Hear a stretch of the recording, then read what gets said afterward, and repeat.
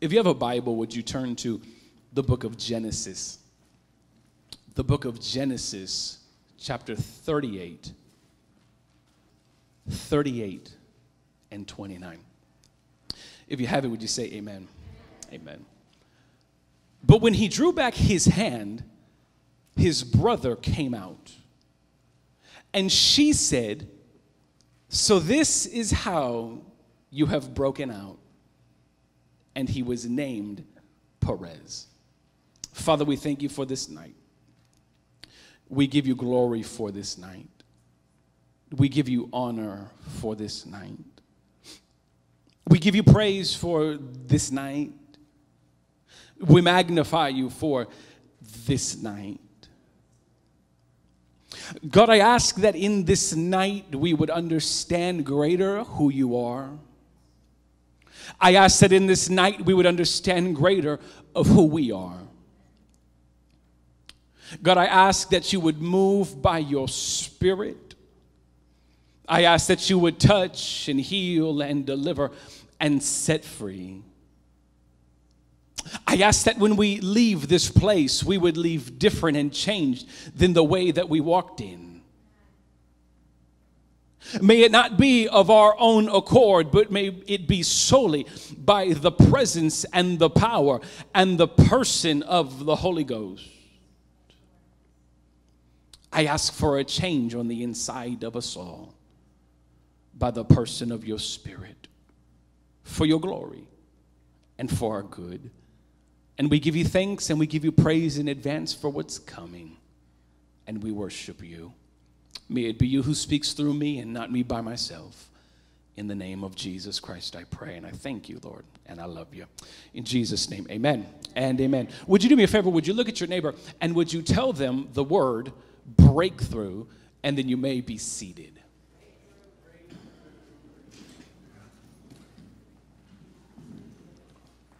Let's look at our text one more time Genesis chapter 38 and verse 29. But when he drew back his hand, his brother came out, and she said, This is how you have broken out. And he was named Perez. Genesis 38 is probably one of the most complicated and detailed chapters in your Bible. This one chapter alone has enough information in it to cover one's own lifespan. We deal with a myriad of characters, we deal with a plethora of plots and themes. We deal with the history that culminates to where we find ourselves in verse 29. And as quickly as I can, I'm going to attempt to try. Uh, to break down and help somebody understand what was going on here before we get to where we're supposed to go. One of the main characters in Genesis 38 is a man named Judah. Everyone say Judah. Judah, whose name means praise, is one of the 12 sons of Jacob. Everyone knows the phrase the 12 tribes of Israel, correct? There's the tribe of Levi, there's the tribe of Issachar, there's the tribe of Naphtali, there's the tribe of Levi, and many others. And we have a man named Judah who has his own, going to be the heir of his own clan or tribe named Judah. Judah ends up marrying a woman and he ends up having three sons. Judah marries off his first son to a lady named Tamar. Are we good so far? The first son who was married to Tamar evidently had an issue with Tamar, and he refused to have children with her. And the Bible says that because of his own issues and because of some things that he was doing, I don't have time to get into it, but because of some, time, some things that he was doing, God took him out.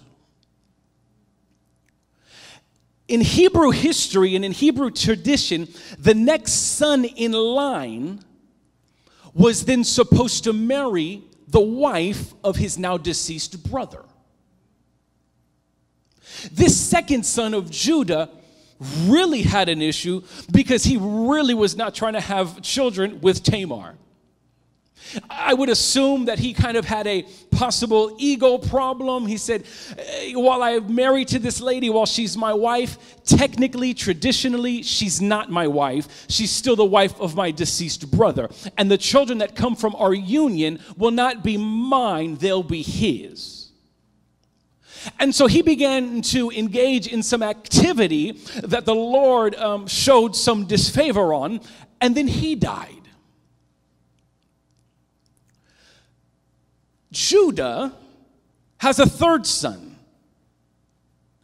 The third son is the last son. And this son is supposed to marry now this lady named Tamar. But Judah says, I'm afraid that if my son marries her, he's gonna die too. So he tells Tamar, just wait until the boy gets a little bit older, and then I'll marry him off to you, and everything will be okay. So, in the meantime, Tamar, why don't you go to your father's house and you just go chill out over there and wait till this little boy gets old enough to marry you? Well, the Bible says that some time did go by, and Tamar ended up finding out that the son, that last son of Judah, ended up becoming a man, but she wasn't married off to him yet. And while all of this is going on and while all this is transpiring, we find in Genesis 38 that it is now time for the sheep to be sheared. And all of the men go up to the place where they're going to shear their sheep. And Tamar, the Bible says, puts a veil on, takes off her widow's garments, and stands off by the side of the road and, and, and acts like she is a shrine prostitute. And she lies there and sits there in wait for Judah. Now, I'm not going to take too much time with that, but obviously Tamar knew that Judah had some proclivities. Because if she said, I can dress up like a prostitute and get him, there's some things that she already knew about him. But that's a whole nother sermon for a whole nother night. Laugh a little bit.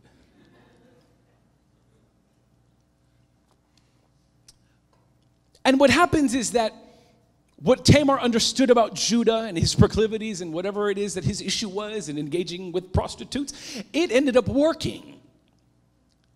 And so she disguises herself, and the two lay together, and in the middle of the night, she takes off. And so some time goes by, and Tamar now realizes that she's pregnant. And the associates of Judah and the men of Judah go to Judah and say, You know, your, your daughter in law, Tamar, she's pregnant by another man. And Judah, in all of his zeal, says, Well, we're going to bring her out to burn her. And Tamar sends a message to Judah and says, The man of whose seal, cord, and staff I have in my hand, that's the man that impregnated me. And Judah realizes that it was him. And he says, She is more righteous than I. We come some six months later to the point where Tamar is now laid down on the ground about to give birth to a baby. We come to the climax of the story where a baby is going to be birthed that, the re, that was the result of a union between once was a father in law and a daughter in law. And as Tamar is pushing out this baby, while Tamar is engaging in uh, baby delivery, the maidservant looks down and says, There's something going on that's a little bit different than what is normal. There's something that's going on that's just a little bit different than what should be. Tamar, the lady said, I have to tell you something. You not only have one baby in there, but you have two babies in there. And as Tamar finds herself in those long, never ending hours of labor, and as she's screaming and pushing out and trying to get these two babies out, the Bible says that one arm came out first. And the maid servant, who understands that there are twins in there, grabs a red ribbon and begins to tie around the wrist of that first arm that was thrusted out. Now, if the story is not interesting enough, it gets a whole lot more interesting. Because what happened was was that little baby who had stuck out his arm all of a sudden took the arm back in. And the maid servant says, This is not normal. Once you're coming out, you're coming out. And there begins a jostle in the womb of Tamar. There begins a conflict inside of the womb of Tamar. All of a sudden, that one baby who had his arms stuck out and who had that red ribbon tied around it is now not the baby that is coming forth. Uh, there's another baby behind the first one. Uh, that first baby went back into the crevices of the darkness and of the deep of Tamar's womb, and all of a sudden out comes another person. Uh, all of a sudden comes out another head. All of a sudden out comes another arm, and, and it's a completely different baby than the first one that she saw. And the midwife grabs that second baby and says, So this is how you have broken out. I'm gonna name you Perez. Perez in the Hebrew takes up two English words. The first English word is the word breakthrough. A breakthrough is something that culminates and carries you over from the place of where you are to the place of where you're going. A breakthrough is something that enables you to push through and move forward into and past the thing that has been of conflict to you. A breakthrough is something that catapults you from the space of where you find yourself into the space that you're supposed to be. And she says, the first aspect of who you are, baby, is you are a breakthrough. You found something to break through. You, you had a strategy, you, you had an idea, you, you had an impulse to break through the place from where you are into the place where you're supposed to be. The second word that deals with the name Perez is the name breach. What is a breach? A breach is a small hole in a space. A, breach is a small crevice in a wall. And the maid servant says, You little one, you little breakthrough, you found how to get out. And this little baby named Perez comes out first, and his brother comes out second. His name is Zerah. Zerah means uh, brightness or scarlet.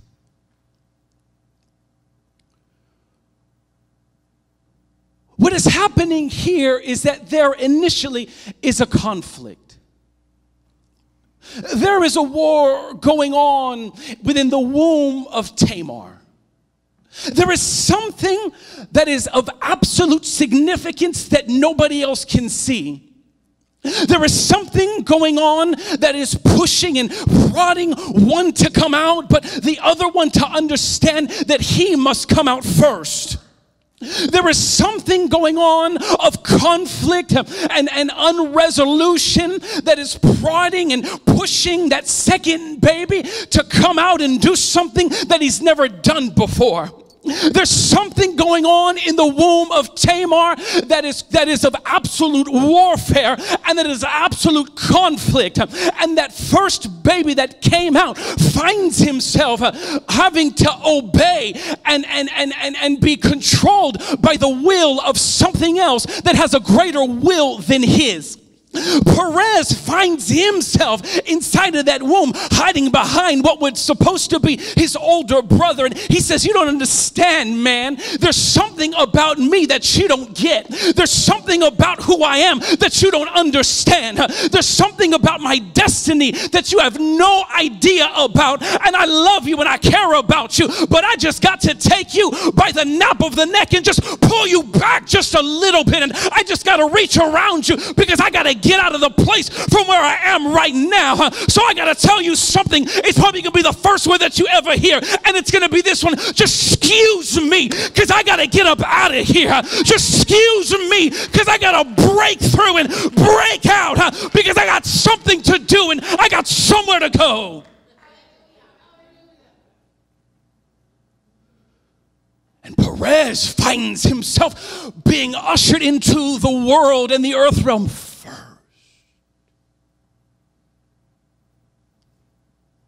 There's a war going on, there's a jostling going on. Inside of the womb of Tamar was WWF. For you younger kids, WWE, SmackDown, MMA, cage fighting.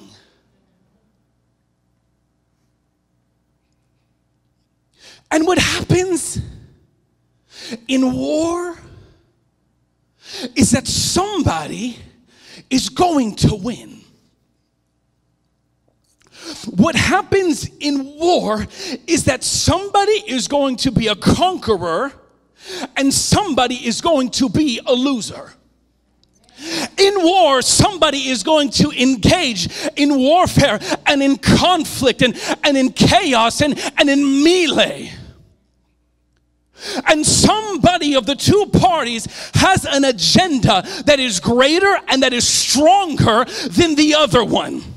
Somebody understands that what they're engaging in is of, of absolute necessity and destiny. They understand that should they put their sword back in and should they put their gun back in their holster, that losing is of absolute reality. When you engage in warfare, when you engage in a conflict, you have to go into the fight understanding that you're going to win. You have to go into the fight understanding that you have something on the inside of you that is just a little bit above the person that you're having conflict with.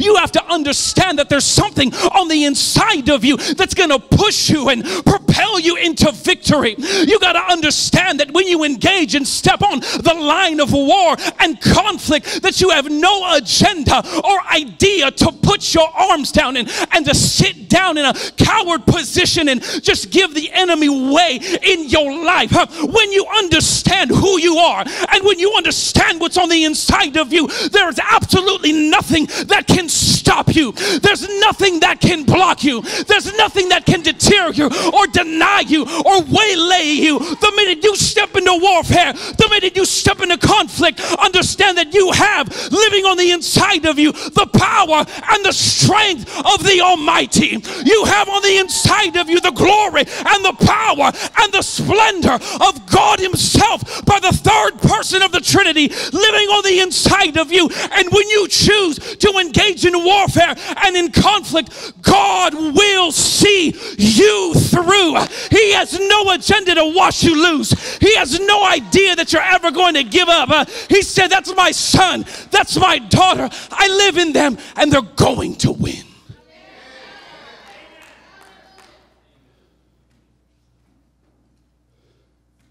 Can I tell you something tonight? Your victory is already assured.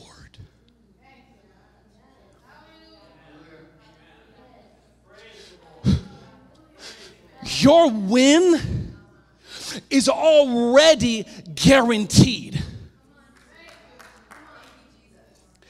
Everything that will take place and transpire in your future is already guaranteed for victory. We stand in a place of engaging in warfare and in conflict some way, some reason, asking God, Are you sure I'm going to win? Are you sure you're going to see me through? This enemy looks very, very large. This enemy looks very, very imposing. He has more uh, armor than I do, he has more artillery than I do. He has more history of warfare and of fighting than I do. But I need to tell you tonight that the God who lives on the inside of you says it doesn't matter what they have, for it's not by might and it's not by power, but it's by my spirit, saith the Lord of hosts. I am the God of eternity. I don't care how long they've been fighting. I was before them. I don't care how long they were speaking. I've been speaking before them, and I'll speak through you when I want to, how I want to. So open your mouth take up your arms, uh, lock and load, and get ready to fight and get ready to win because I have no intention of ever seeing you lose. You got to get to the point where you understand that you are a Perez. You got to understand that you got to get to the point that you are a breaker, that you are someone who can look in the face of your adversary and of your conflict and of the thing that's telling you that you cannot win. And you got to say, you know what, baby? One of these days you coming down. One of these days you about to get sat down and you ain't never getting back up again. I am a son of Perez and I am a breaker and I will find the on the inside of you.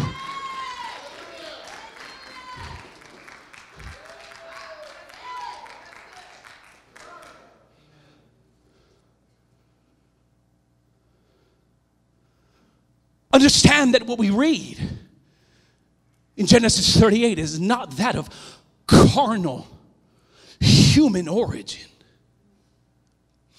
What we read in Genesis 38 is not the mere hand of man orchestrating and working out the details of two babies' destinies.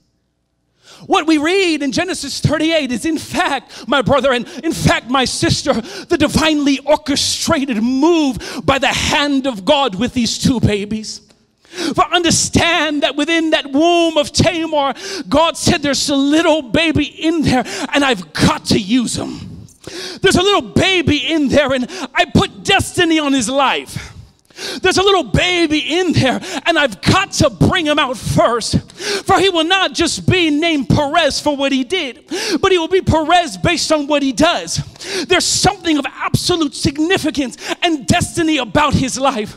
He's not just going to be a son of Judah. He's not just going to be a son of praise. Um, I don't care if praise and, and Tamar get together. I understand that Tamar's name uh, meant a, a, a date palm, not a date like you're going to go out with somebody, like a date like the fruit. It came from a palm tree.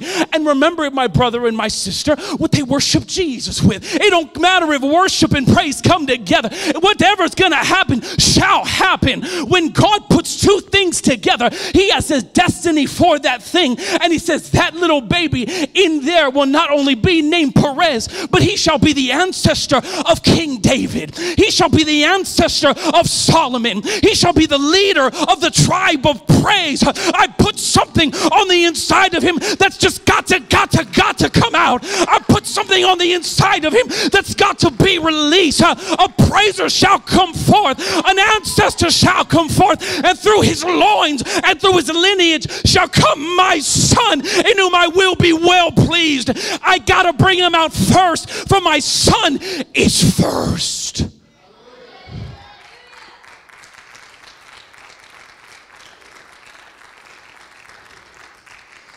I don't care tonight what your conflict is. I don't care tonight what your issue is. I don't care tonight what the barrier in your life is.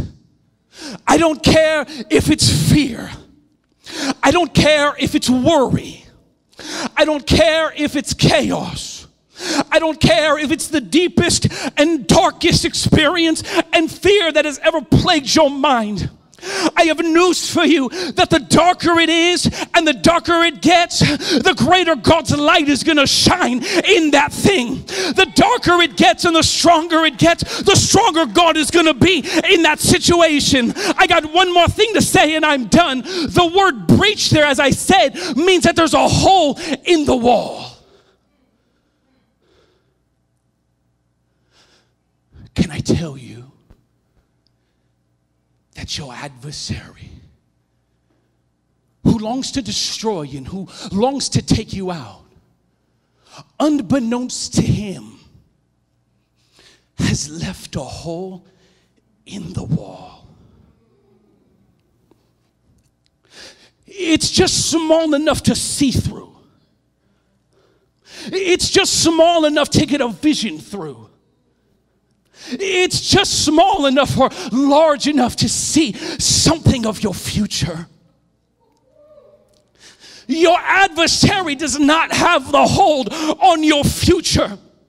He does not have the ability to shadow and blind out and block out your future. For he has no control over your future.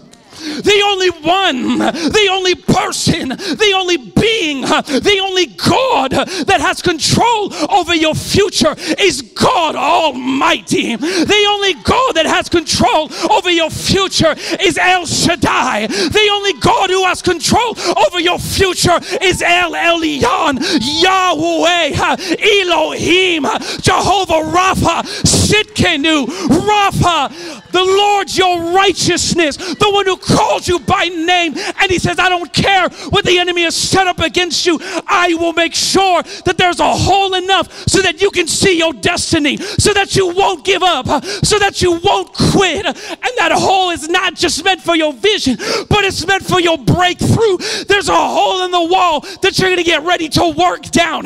There's a hole in the wall that you're going to get ready to push through. There's going to be a release in that wall that is going to be the key to your victory. And it's some point, very, very soon, you're going to shout and dance and praise and spin and wave and trust me. And that hole is going to break out and that wall is going to come tumbling down and you're going to move into everything I said you would. Everyone stand on your feet in this place.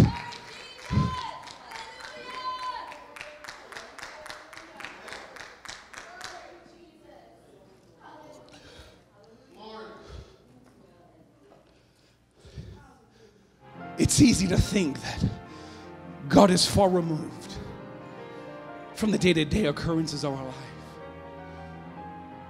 But God, He holds all of the detail. And He does amazing things in spite of our messy entanglements that seem to threaten His purpose, no matter the barrier. I have news for you.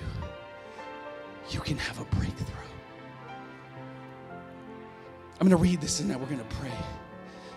Your destiny, everybody say, My destiny will push me to a breakthrough. My brother and my sister, you are destined to break through the hole in the wall. Whatever barriers are in front of you, it's a hole big enough to break through. Wherever you are in life right now, whatever you might be dealing with right now, I'm here to tell you tonight that there's a hole in that wall that's big enough to break through. God left it big enough that you can move through that thing and have victory. Your victory is assured. Your victory is guaranteed. And everything that you need right now, in this moment, is already yours. Everybody, raise your hands in this place.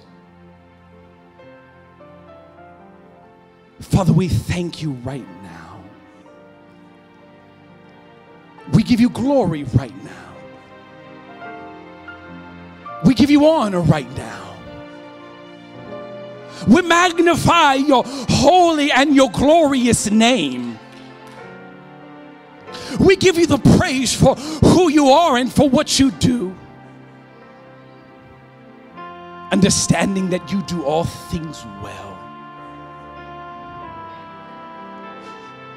So, in this room right now, I speak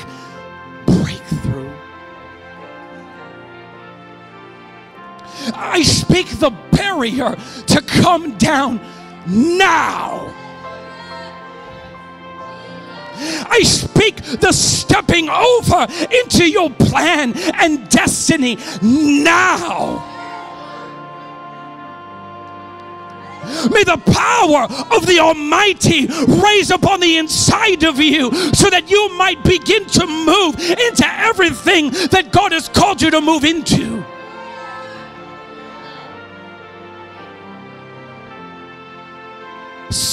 Out and step into everything God has called you to.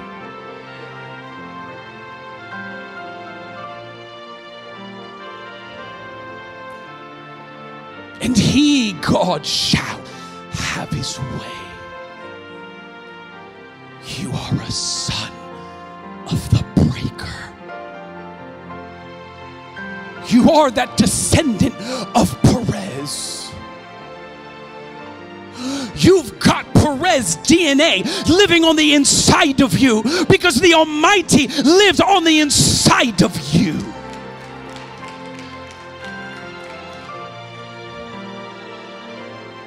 Never look at your wall and say, You're going to stop me. Look at your wall and say, I'm going to break you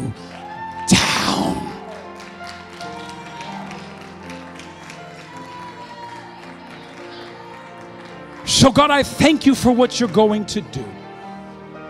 I thank you for the breakthrough that's coming. I thank you that the, for the victories that are going to be won.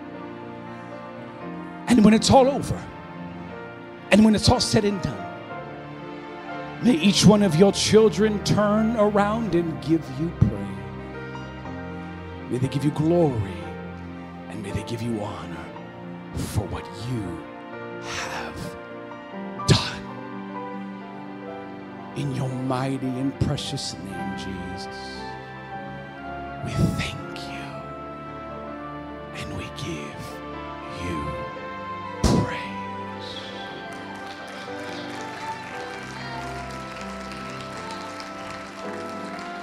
Now, Father, rest upon your people.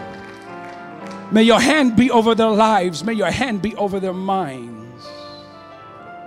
Bring them peace when they need it. Victory, I ask. Keep us under your care and under your watch. And may we live every day to give you praise. In your name, Jesus, we thank you. We love you and we give you praise. And every saint in this place said, Amen and amen. Put your hands together and give God one more praise in this house.